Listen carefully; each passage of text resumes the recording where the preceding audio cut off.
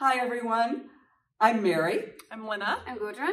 And we are your book babies, Storytime Librarians. And we're here to teach you some tickles and rhymes and bounces that you'll be able to do with your baby at home. This is a really fun, short little tickle that if you do it enough, you get some giggles out of your baby. So it's really fun. And it goes like this. Pizza, pickle, pumpernickel. Little baby will have a tickle. One for her nose, one for her toes, and one for her tummy where the applesauce goes.